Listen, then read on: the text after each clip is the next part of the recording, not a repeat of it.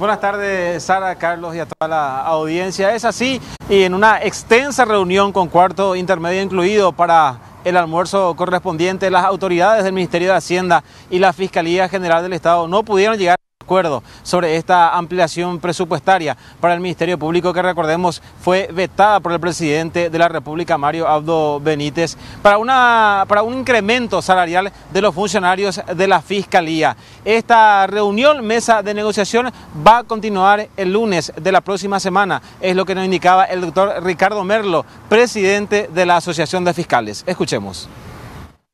La decisión del presidente de la República de convocar a la reunión eh, demuestra que la importancia que da el Ministerio Público.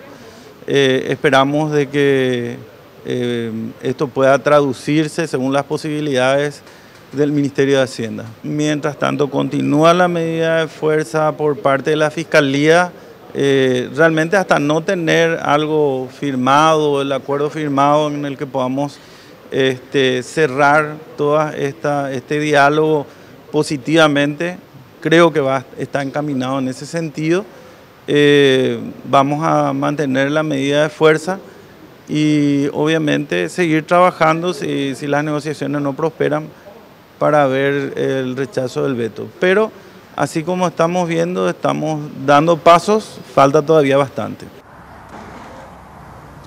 Por su parte, Odilon Turo, que es presidente del Sindicato de Funcionarios del Ministerio Público, negó que haya habido un avance en esta mesa de diálogo que se realizó en la fecha y criticó incluso la falta de muñeca, decía él, por parte del viceministro de Administración Financiera de Hacienda, Oscar Llamosas, para dialogar y para buscar un consenso con el Ministerio Público.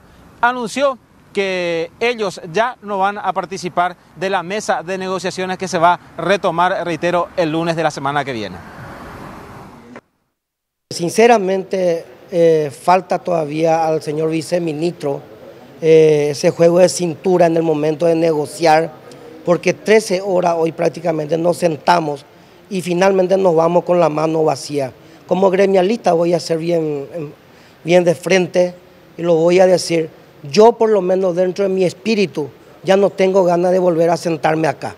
Prefiero ir a pelear en la calle, prefiero ir a, pelearme en el Senado, hacer lobby, pero menos acá. No tiene la voluntad ni la más mínima intención el señor viceministro de cumplir con el Ministerio Público. Si no hay una promesa seria y responsable de parte del Ministerio de Hacienda, no pienso venir a perder su tiempo ni hacerle perder a él su tiempo. Seguramente tiene otra cosa más importante que atender que venir a tomar agua acá en la mesa, porque eso es lo que hicimos. Odilon Turo, presidente del Sindicato de Funcionarios, Trabajadores y Empleados del Ministerio Público, quien remarcó que el único avance que hubo en todas estas horas de negociación que tuvieron en la fecha fue el 60% que se dio el Ministerio Público en cuanto a sus pretensiones de ampliación presupuestaria para el incremento salarial. En lo que corresponde a este año, ellos ya renunciaron a esos 18 mil millones de ampliación presupuestaria y ya están peleando para el, el mayor presupuesto del año 2019. Sin embargo, ellos no ven una voluntad real por parte de las autoridades del Ministerio de Hacienda. Expresó eh, Turo su apoyo total a la titular de la Fiscalía General. Hablamos de la doctora Sandra Quiñones en esta negociación que está llevando a cabo con el Poder Ejecutivo Sara Carlos.